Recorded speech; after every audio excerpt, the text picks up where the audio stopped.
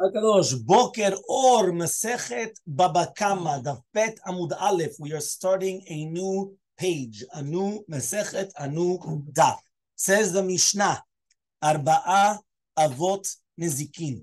When we're talking about damages, remember we're starting Seder Nizikim. Seder Nizikim is the entire Seder of Mishnayot, which have to do with damages. So that's why the majority of Choshen Mishpat, which is money matters, has to do with these Masechtot, whether it's going to be Baba Makama, Baba Metzia, Baba Batra, all these things that have to do with damages, whether it's going to be with all these things. So here we're talking about there are four major categories of damages. That's the explanation of arba avot nezikin. Remember that whenever there's avot, there's obviously toladot. Whenever, whenever there's the categories, there's the subcategories. Remember that here there's going to be four characteristics, and then everything will go into these four. So number one, hashor, the ox. Number two, abor, the pit. Number three, hamav'eh, which we're going to have to see exactly what is the mav'eh, because the Gemara is going to explain that. And hahever, hever is right tavera, you know, kibarab esh, right? It's esh, fire. So we're going to come and we're going to say there are four categories of damagers. Okay. Now, technically, it should have been written mazikin and not nizikin, but that's very, very biyun already, right? Because mazikin are the ones that are doing the damages, nizikin are the ones that are receiving the damages. But again, that's just the way the Mishnah is doing it. There's a shita on that, but that you can do for further yun. Says the Mishnah, lo hare hashor kare velo hare amave kare hashor, which means the shor, which is the ox, is not like the mav'eh. And the mav'eh is not like the shor, which means they do not have the they do not share the same characteristics. And neither the shor or the maveh, sheyesh ba'im ruach hayim, that they do have a ruach hayim, which means the shor is an ox. It's a living creature. The maveh, we're going to see, is also a living creature, according to I'm putting in the Gemara. It's a dam, right? It's a human being. A human being is the maveh. Okay, so, but, but they have ruach hayim, right? A fire it's not a ruach chaim. A fire is an inanimate object. I'm saying obviously it has oxygen to continue, because if you take away the oxygen, it dies out. But it's not a living uh, uh, concept. A bor is an inanimate object, right? There's no life to a bor. A bor is a pit. There's no life to a pit. Okay, but the loze that means both of them, the shor and the mave, that's why we put them together, the shor of the mave, right? He says the shor is not like the mave and the mave is not like the shor right? But each one they have ruach haim, not like the esh shem ruach haim. The lo ze Now again, you you could go on biyum, because by the way, you should know in yeshivot we learn this and we you know dissect every single part. So you could already right now say, why are we only saying that the only thing that doesn't have ruach haim is the esh? Also, the bor doesn't have ruach haim, but it doesn't mention it. And then you know again in yeshivot they go very you know babakama, mitzia, babatra, all these types of mesechtot they go very very deep right into to understanding it. Velo ze Shadarkan.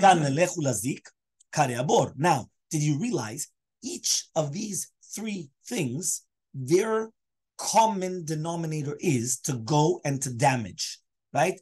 But the bor is immovable, meaning the fire travels to damage, right? The human being, if that's the explanation of Mavet, travels to damage, right? The shor travels to damage. The only one that does not travel to damage and just stays, how did you say it in English? Uh, immobile, immobile, passive. Yeah, they just basically they stay in the same place, and that's how they're doing them because they can't move anywhere, right? So in such a case, who's that? Says but if we're going to come and we're going to say common denominator between all of the mazikim, common denominator is shedarkan lazik, right? It's normal to damage, right? Ushminatan alecha, and you're obligated to watch over them meaning you have the honest obligation to come and to watch over right these things. Now, if it does do damages, doesn't matter which one of these four, so then the mazik, which is damager, he has to pay tashlum nezek, the different damages, with the best of the land. Okay, that's a mishnah. Very, very good. Okay, fine. Let's go. Excuse me. What does it mean? Which Midiktani avot. Says the Gemara, from the fact that we taught avot, if you're going to tell me that there's an av, there's obviously tolada. You cannot say that there's a rule without an exception to the rule. Okay, there has to be, if there's an av, there's a tolada. You cannot call somebody a father if he doesn't have a child. Right? It's just very simple. That's just mathematics. Okay? So, midiktani avot, miklal deika toladot. Toledotehen kayotze bahen, or love kayotze. So now, the toladot, which are basically the children, right, or the subcategories. Are they like the father categories or not?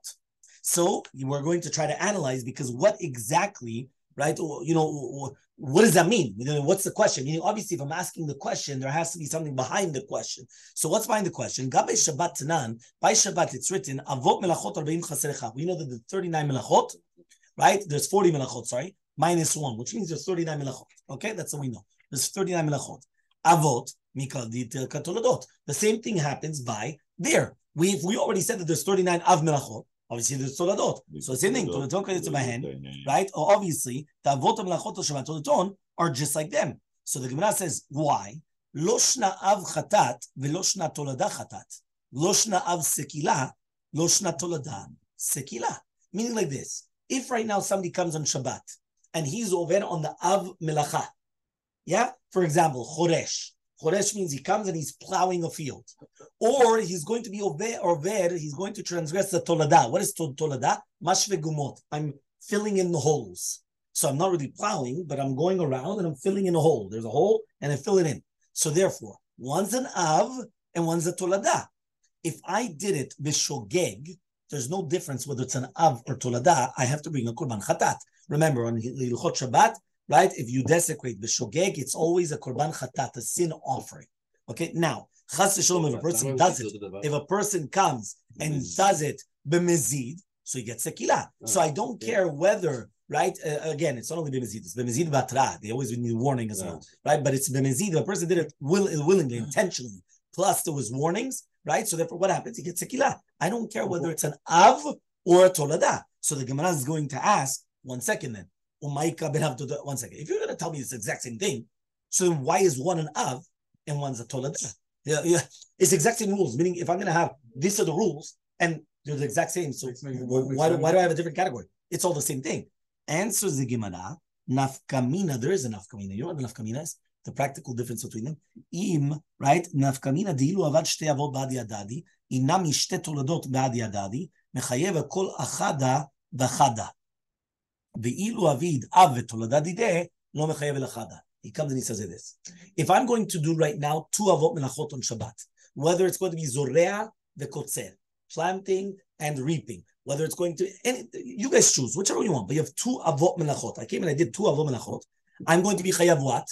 Two different chatats or two different skilas because you did two counts. There are two separate counts, right? That you went and you did, you were over avera. The same thing happens with the toladah. Let's say a person did a toladav choresh or a toladav zorea. So in that case, it's the exact same thing. You're going to be chayav on two different counts, even though they're both toladot. So then one second. So how do we have a case where there's going to be a difference in an avan or toladah? The avan toladah, but the same category.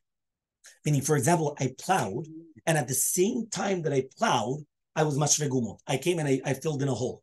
So now, since I'm doing the same category, then I'm only going to be chayav chatat once, or I'm going to be chayav sekilah once. It's not going to be two separate because basically what's yeah, happening is it's like two separate counts yeah. or one count, but just one is like a, a little bit stricter, one is but same thing. So that's what the Gemara says. So the Gemara says one more time, right? You have one minute, right? He comes and he says, so therefore, what's happening? You have, there's no difference between a tolada and an av. The only difference between them is going to be that if you're going to come and you're going to do different avot or different toladot, you're going to be chayav on every single one separately. It's a different count. There's 39 that you could be over. So I'm going to count. Count one, and number seven. You did number four and number 13. And he did number 20 and uh, 32. Very good.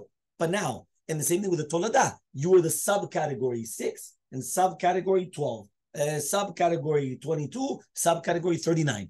But now, if I'm going to go, right, either, right, on the Av and the Tolada, so I'm going to do number six and the Tolada of six, right? I'm going to do Borer and I'm going to do Tolada of Borer in such a case, since they're both the number six, I didn't care that one was the category, the Av or the Tolada, I only get one punishment. That's what the Gemara says. Okay, that's what the Gemara says. Okay. That says the Gemara, Ul Rabbi Eliezer, and according to Rabbi Eliezer, the Mechayev Atolada bimkom Av, Amai Kari Le'av, the Amai Kari La Tolada. there's one shita, that that shita is the shita of Rabbi Eliezer. And according to Shitat Rabbi Eliezer, if you did both of them together, you're going to be chayav on the tolada, right? That means basically he's going to be mechayev shte chataot on an on a melacha, which you did an av and a tolada. Meaning one more time, there's a rabbi. The rabbi's name is Rabbi Eliezer.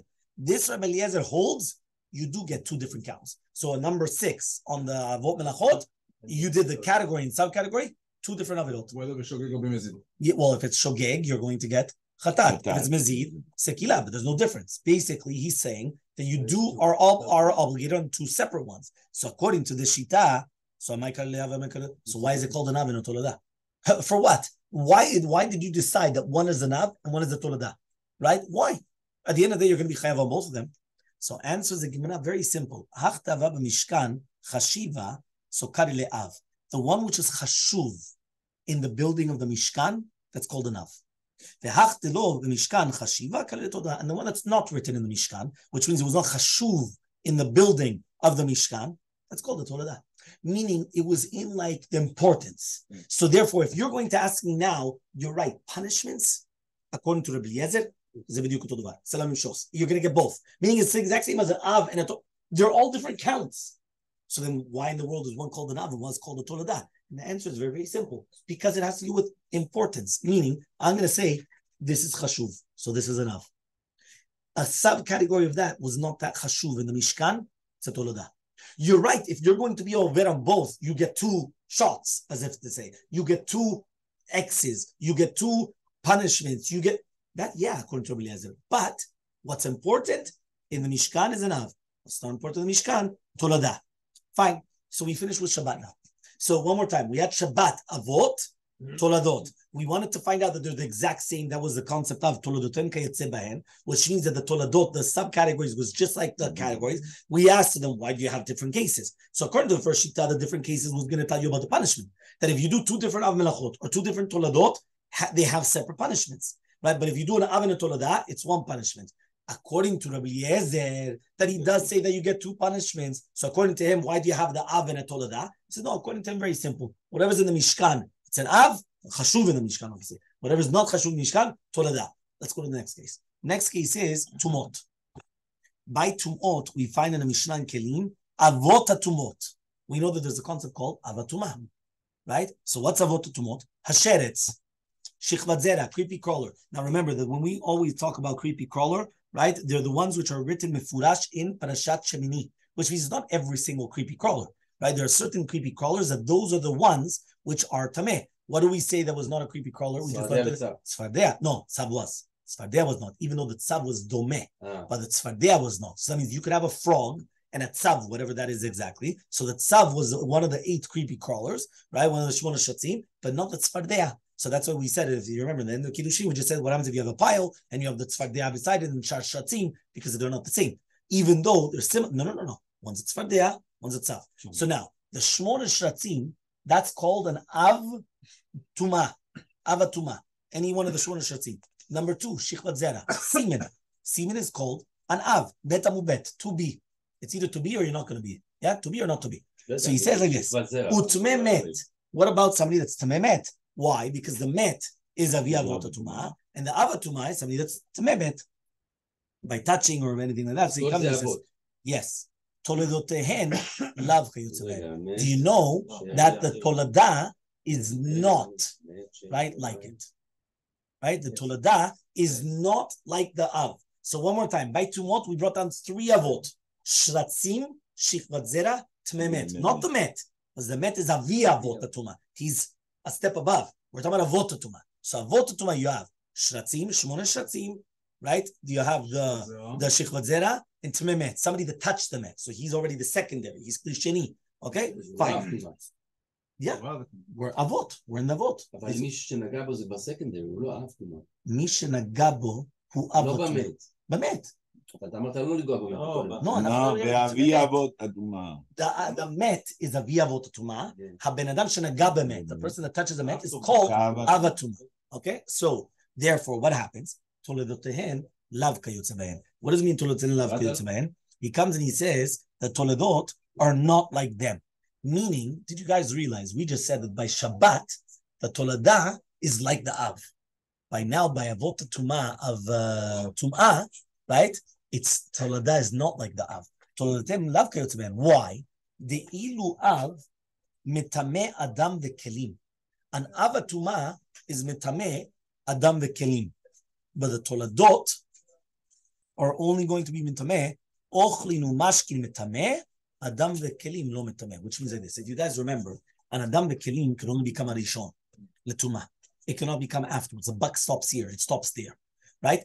Ochlinu mashkin can become a, sheni, and if it becomes truma, it could become a shlishi, and if it's kodesh, it could become revi'i. But again, they're always ochlinu mashkin. It can never be adam v'kilim. Okay. So now, what happens is as follows: you have an av hatuma. The av hatuma can be mitame adam v'kilim, but a tolada of the tuma cannot be mitame adam vekilim. It could only mitame so therefore, over here, right, tolodotem, love kayotzeben. So therefore, he comes and he says like this. He comes and he says, oh, sorry, he comes and he says like this. He comes and he says, so therefore, the question that we're going to have now is goes as follows. The question that we have now is, what is the halacha by Baba Kama? Right? What is the halacha by Baba Kama? Right? What does that mean by Baba Kama? And you just had avot Nezikin. Mm-hmm. Yeah, we just had avot nezikim. So you have avot toladot, avot toladot. Remember one more time. Let's zoom out. Avot nezikim. That's how we started. Arba avot nezikim. So the avot nezikim. Where else do we find avot? Avot by Shabbat. Avot melachot. Where else do we find avot? By tum'ah. So therefore, the Gemara is going to say one second. Are the toladot of Nezikin like the Avot or not? Why? Let's look at Shabbat. The toladot of Shabbat are like the Avot of the Shabbat. So it's the same thing. They're like them. They're very similar. But when I come to Tum'ah, the toladot are not similar to the Avot. So the Gemara now asks, what about Bayas? Avot Nezikin. Are the toladot like the Avot or not? And that's why I told you when we started the Gemara, the Gemara says, Militani Avot right? Mikaldika lo ketzeben. What's the Gemara asking? Why is the Gemara asking, are the toladot like the fathers, right, or not? Obviously, it's sure. No, no, no, no, no. One second. You find Shabbat that they are, but then you find Tuma that they're not. So what are we by Avot Nezikin? Is the toladot like the Avot or not? That's what the Gemara asks. For Shabbat, we took the- the- Where's the So Gemara? we're gonna finish Amar with Rav that. Papa says Rav Papa, יש מהן כיוצא בהן, ויש מהן לאו כיוצא בהן. Do you know what Nezikin is? Nezikin Ah, is actually what? A compromise. Sometimes they are domeh, and sometimes they're not domeh. Meaning, one more time, we had Shabbat. Shabbat was domeh. תולדותיהן כיוצא בהן. We had Avot Tumah. תולדותיהן לאו כיוצא בהן. Now we have Nezikin. What is Nezikin? Answers Rav Papa. Some here Yes, and some there. Yes, yes. Some of them are the same, some of them are not the same. Okay? And that's how he finishes. Very good. Now, the truth is, though, he didn't say which ones, right? So now we're going to try to understand, meaning Rav Papa left it at that. Sometimes you ask a question and they're going to answer you, but they're not going to give you all the details. So if you want to know now what are all the toladot of uh, of Tuma, go look it up. He's not going to give it to you. Here, Rav Papa, he didn't answer you. Rav Papa just told you, yes, yes, yeah, yes, yes. That's it. So now says the Gemara, right? Tanra Rabbanan, right? We learned in a Braita, Shlosha avot neemru, right? There's going to be three avot nezikin which are brought under the Torah to do with the shor. Hakeren v'ashen varegel. Look at the look at the the beauty. You have an ox, but in the ox you have three different ways of how does the ox damage. The act the ox damages with his horns. That's the keren. He damages with his teeth when he eats, right? And he damages with the regel when he, kicks bites, things, when he, bites or whatever, oh, and he damages with the regel, right? Walking, kicking, right? Well, that's regel. Very good. So therefore, right now the Gemara is going to come and speak about the entire concept of the Mekor. Where do you see this in the Torah? Right? Where do you see in the Torah that there's three different places? Right? That means when I'm going to ask you the shor, what are you going to tell me? You're going to tell me three different things. So he says Kerem Allah. How do we know about the Keren, about the horn? The Torah we learned in a Braita, right? That when it says in the Torah, right? Kigach, this is Parashat Mishpatim, by the way. Kigach shor Shor. et ish o et isha vamet. when you're going to, by the way, you should know the majority of all damagers, the majority of all damagers are going to be in Parashat Mishpatim. Majority.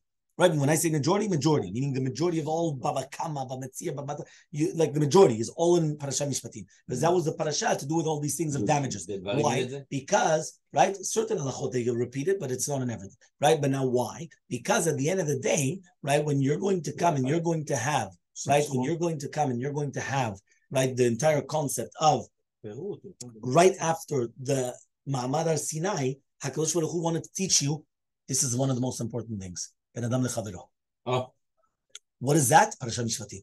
What do you do to your friend? Or you call it damager. Sometimes people could damage and they don't even realize that they damage. Right? They think that they're doing a tova and they do a ra'ah. Right? He's gonna come and he's gonna say, listen, I dug you a pit. I did you a favor. But yeah, but the pit made me fall. Right? It was not that you made me a pit for, for drinking water. You made me fall. So therefore, people have to understand, right, the, The concepts kavanah. of damages. Okay? So now you come the and says this. Ki gach. When it says ki gach shor et ish or et isha v'met, en negicha ele bekerim. Whenever it uses the terminology negicha, negicha is always to horror to um, I forgot the word in English. Uh, uh, lingoach is to gore. I think that's the word in English. Yes, to gore. Yeah, to gore. To gore. So when you, whenever you use the terminology of goring, it has to be with the horns. Okay, so that's what he says over here. כי יגח, אין נגיחה אלא בקרן. שנאמר בזה זה בפסוק, ויעש לו צדקיהו בן כנענה קרני ברזל, horns of uh, iron, ויאמר כה אמר השם, this is what Hashem says, "תנ- תנגח את הרם, go and gore them.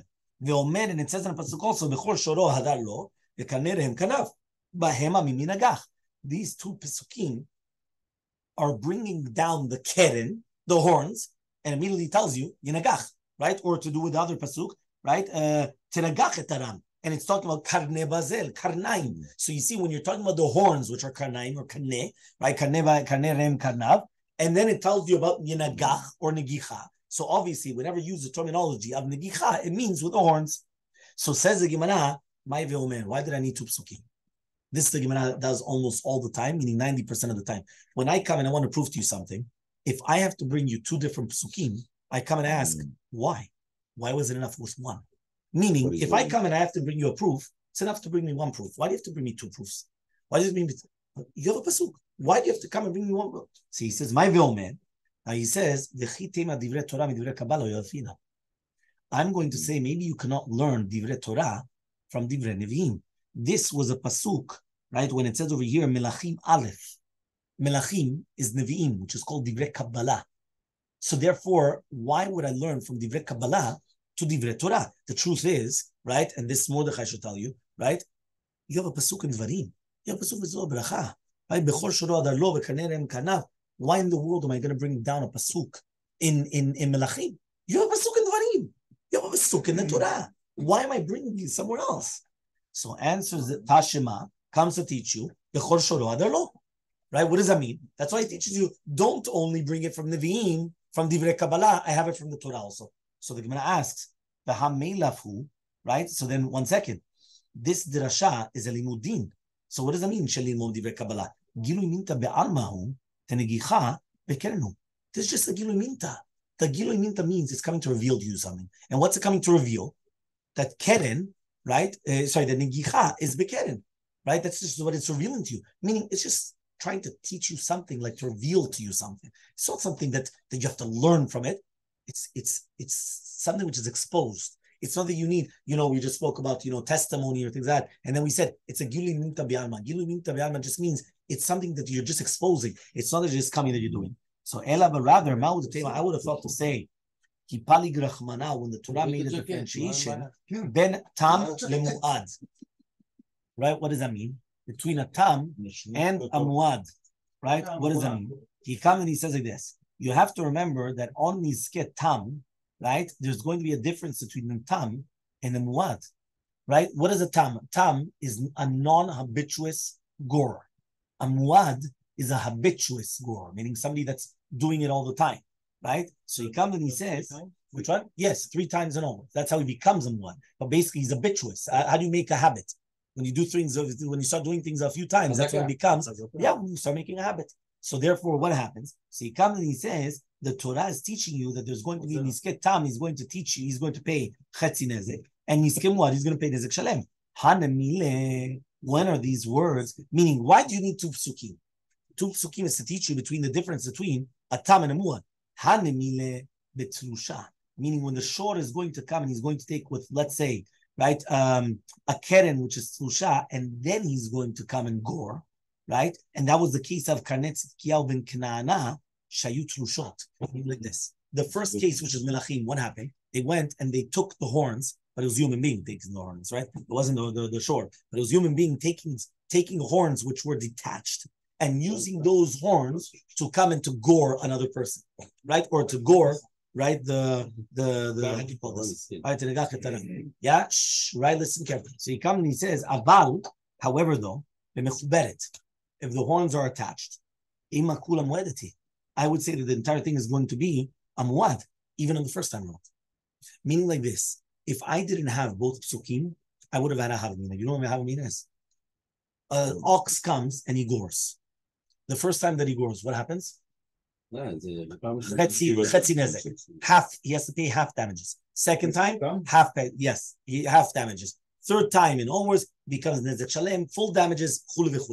Now, one second. Says the Gemara, if I didn't have both psukim, I would have thought that when the ox comes and he gores with his natural horns, even in the Pamani Shuna, even on the first time, he's called a muad.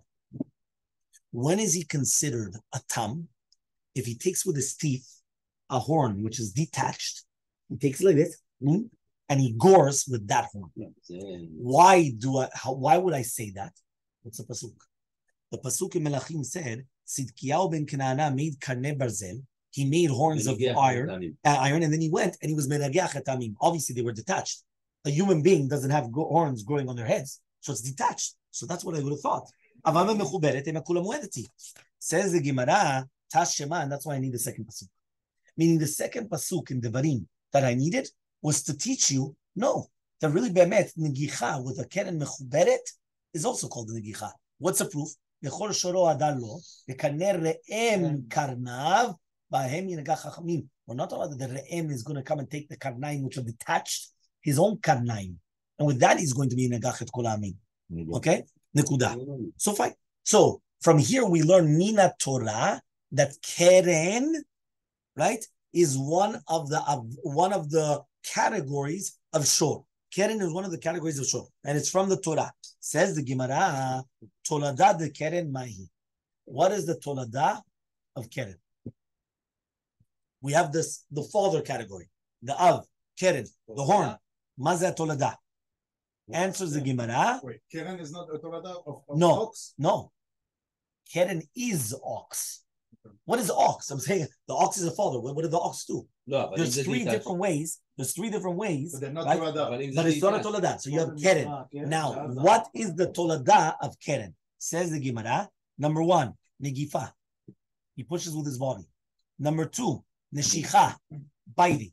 Number three, Revitza. He's going to okay. There's a whole question. What is it exactly? He's going to jump. Yes, but all these things are toladot right? Ubeita or kicking. Okay, so now one second. So the Gemara is going to say. So one more time. These are toladot. So you had the av, right, which is keret, toladot. Says the Gemara, Maishna de negicha de kari le'av tichtiv ki gach negifa nami ktiv ki gof. One second, one second, one second, one second. Sorry. You just told me that you have an av of nizikin, which is called keren. Keren is shor. Meaning, if I'm going to ask you shor, what is shor? Keren, right? Keren is the horns. You're going to come and you're going to gore. So says the Gemara, how do I go? What? You bite with, with keren. One minute. One minute. It's biting with your teeth. No, no. And it's a tolada. And you're kicking with your feet, not with your horn. Right? But one minute. Right? So now, says the Gemara. Right? Says the Gemara. Right? So he comes and he says like this. He comes and he says, right? The what is the reason why Negicha is called an Av Melacha? Because it says in Pasuk, Pasuk, ki yigach. Negifa is also written in the Torah. You just told me negifa, which is pushing with the body, right? A shove. I'm going to shove you. So the the the the ox comes and shoves somebody. That's called keren. Why is that called keren? That's a tolada. I would say that that's an av, and it comes from the Torah. What's the proof? You told me ki yigach. Now it says ki. In the Torah, it's written ki gof. So negifa should be mina Torah, and it should be an av. It shouldn't be a tolada. Answers the, the, the Gemara, hai negifa, negichai. Negifa is negicha. Meaning, that's a translation. Meaning, even though it changed the terminology, negifa is negicha. So when it says ki gof, it's talking about the karnav. We're not talking about that he pushed with his body, he shoved with his body. We're talking about with the karnaim. Oh, that's another question, but that's the way it is. The Tanyas we learned in the Braita, we're almost done. Patach b'negifa, v'siyem b'negifa, v'siyem b'negicha. And Braita says, we started with negifa, and we finish with negicha. Lomar lecha to teach you, zoi negifa v'zoi negicha. This is the same thing, right? The lashon negifa, which is written in the Torah, and the lashon of negicha is all the keren. Meaning, in the Torah, it's the same thing. That's the way it is in the Torah.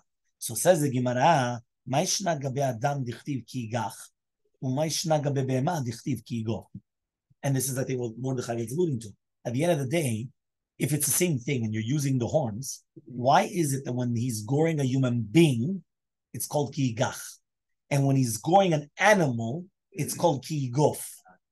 Why is it? What's the difference? Answers the Gemara, Adam di le mazala. Adam has a mazal.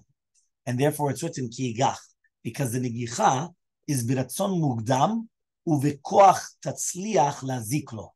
Abehema le le mazala. He doesn't have a mazal. And therefore, since he doesn't have a mazal which is protecting him, ketiv ki gof, because even just pushing it on its own, it could it could already damage. Which means like this: the mazal of a human being protects a human being. The mazal protects a human being, and therefore, if the mazal is down, he's down. He's he's vulnerable. If his mazal is very strong, you cannot come up against it. The Gemara says to do with the rasha that sometimes don't start off with the rasha. Why? Shasha mesacheket lo. What is it? Ah, very good. Sefer Megillah. What does that mean? Shasha mesacheket lo. It means that his mazal is so strong, he'll be able to turn, take everyone down. Even if you have tzaddikim, even if you have amara, he's got a strong mazal. The mazal is something very, very important. So here he comes and he says, a human being has mazal. That mazal, by the way, we once gave him a shiur on Masechet Megillah. We said it's actually the malach which watches over the human being. Right? The malach that he has that watches over him, that's his mazal. So he comes and he says, right, that right now a human being has mazal. And since the human being has a mazal, it's written ki gach because it means that he's doing it, he has to do it with a lot of kavanah in order to be mazik. Because if he didn't have kavanah to be mazik, it's impossible that he would be nizok. He wouldn't be, he wouldn't be damaged. But by an animal, there's no mazal. So automatically, even without you know real intentions, and the animal just comes whoops and boom, and sends the other animal flying, it could be damaged hmm. because there's nothing to protect it, and that's why it's written ki gof. It's like it's like an it's like an igifa, it's like a push because kilu that there's no protection protecting right the animal. Uminta gavorche kamashmanan. It's going to teach you something new. Temual le'adam avimual le'behema, umual le'behema lo avimual le'adam. Something incredible. You have an animal, and the animal gored once, twice, three times, it becomes a muad. I'm going to ask you a question. What happens if he gores three times an animal? Does he become a muad for a human being? Or the opposite? If he gores three times a human being, is he called a muad for an animal? Says the Gemara. By the way, we're going to teach you something new. What are we going to teach you? You have a muad for a human being it's called the muad la'behema. That means the second he gores human beings, he's already a gore. For everybody, even though he didn't even touch an animal once. It doesn't matter. If he goes once and you, a human No, three No. times, right? But the second that he's a muad, the second he's a muad oh, For a human human being, he's a muad. What is a muad? That's another david right? But the second that he's a muad for a human being, he's a muad for the animals. But I don't say the other way around. A muad for a bema is not a muad for an adam. Says the Gemara. Okay, let's go back now. Another one. So we had two different. We had a tolada and an av. Negifa was a tolada, pushing with the body. Okay, that's a tolada. Ah, I wanted to make it an av. This is written in the Torah. No, when it's written in the Torah, negifa, it's negicha. But just one's by a human being and one's by an animal. Next one, neshicha. Says the Gemara, not like what David said, the exact opposite. The Gemara says, I don't understand you. If neshicha is biting with the teeth, you told me that there's three different things that are by an animal, by a shore. There's the horns, the teeth, right, and the feet. So therefore, Neshicha should be a Toladav Shen. What's going on? Neshicha, biting, should be like the Tolada of the eating. Meaning, right, if he's going to come and he's going to eat your produce, so that's Shen. But if he's going to bite a human being or bite another animal, that should be a Toladav Shen, not a Toladav Keren, not a Toladav Goring. This one said. Huh? This one said. Oh, okay. So that's what you said then. Very good. Right? That's what you said. So says the Gemara, no, it's incorrect. He says, why? Shen yeshana la zika. Ha en lo la zika. To be shen, you have to have hana. You have to benefit. Neshicha, you don't have benefit. What does that mean? When an animal comes and eats your produce, he's eating. He's benefiting. That's what's called shen. When he comes and he bites, he's not benefiting. Maybe he's getting out of zatzabim, but it's not, it's not benefiting. It's not a true benefit. So therefore, it cannot be considered shen. It's considered keren. It's considered the one that's goring. It's like goring. And that's why it's toldav keren. It's not shen. Says the Gemara. Okay, fine. Next one. Revitza beita. Revitza beita should be a toldav regel. Regel is kicking, right, with the foot, right? Or we don't know what regel is until now, but but it's a foot. So ribono shulam. Revitza beita. Beita for sure it's kicking. Revitza is that he falls upon it and just like you know tramples upon it. So ribono shulam. That should be a toldav regel. And so Gemara no. Regel is a kamatsui. Regel is just walking. It's normal that when it's going to walk, it's going to damage. Honey and is a kamatsui, but here it's not as a kamatsui. It's not common. It's not common that it's going to come and it's going to trample upon something, or he's going to come and he's going to not, not trample. It's a better word on it. That he like jumps upon it. It's a better word for it. I don't know what the word in English, but it's revitza or beita, kicking. That's not that normal. Fine. So says the Gemara, the kuda. Okay, so one more time. Because of that, that's why we said that that Revitza Beita is a tolada of Keren and not a tolada of Regel. Because Regel is common. Revitza and uh, and Beita is not common. So then you put it back to the goring, right? Which usually should not be common. Okay, fine. Nikuda. Let's go back. We asked the question and we didn't get an answer. The question was: Is the toladot of the avot nezikin like the avot or not? Rav Papa comes and he says, "Yesh v'yesh." יש אומרים, some yes, some no. Says the Gemara, Toloton Rav Kayitzben Rav Papa, ahai. Which case is it? The Toloton is not Kayotze Bahen. So Ile Mahani, if you're going to tell me now that he's talking about the Toladot of Keren, that the Toladot of Keren are not like the Avot, Maishna Keren, the Kavanato Lazikum Amanucha, Ushmirato Alecha. One second, Keren, right? He has Kavanah to be Mazik. It's your money, and you're obligated to watch it. Haninami, so too all these toladot, it has kavanah to be mazik. It's your money, and you're obligated to watch it. So what's the difference? Meaning, if you're going to tell me that the toladah is not like the av, that's incorrect. Because all of these characteristics, whether it's biting, whether it's going to be, uh, start, you know, like jumping upon it, whether it's going to be, uh, it's they're all the same. It's your money. They have kavanah to be mazik, and you're obligated to watch over it? It's your money. It's your ox. Yeah, it's your office, It's your money. It's your property. Right? It's your it's your value. You you write it as an asset. It's yours. So says the Gemara, you're right. And the Toladat the Keren is Keren. The Toladat of Keren is like Keren. So that's the the yesh that they're similar. That means the Toladah is like the Av. Yechi Kamar Rav Papa. So when does Rav Papa say that the Toladah is not like the Av? Hashem Regel. On the teeth and on the regel. So says the Gemara, Shen v'regel hechiktiva. Where's the written Shen v'regel in the Torah? Where's the written Shen in the Torah? Keren, I found you in the Torah. Or I found it in Melachim and then in Devarim. Where did I find Shen v'regel the Torah? Says the Gemara, the Tanya was learned in a Braita. V'shilach beiro. Right? It says over here, v'shilach.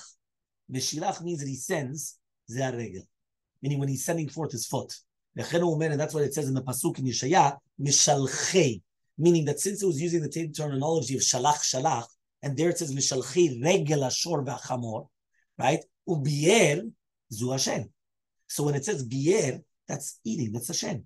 Hu omer kasher yivaer, right? Hagala latumo. When he's going to come and he's going to um, be revealed, because again, that's talking about the shen, where was something which is mitgale, because sometimes it's megule and sometimes megule, meaning the teeth, they're not megule. Sometimes they're megule. Depends on your, obviously, your matzav ruach, right? Your, your, the way that you are, but they're sometimes revealed, sometimes not revealed. So the teeth is something which is going to be et galala you're going to come and you're going to Okay, this pasuk is obviously talking about Yerovam and everything else, but it's talking about that it's going to be revealed or not of the Galel we're going to speak about. So basically, this is where we're going to finish off by basically trying to find out where do we see such a concept of trying to find out where Shen Varegel in the Torah to see that they're going to be considered Av Menachon.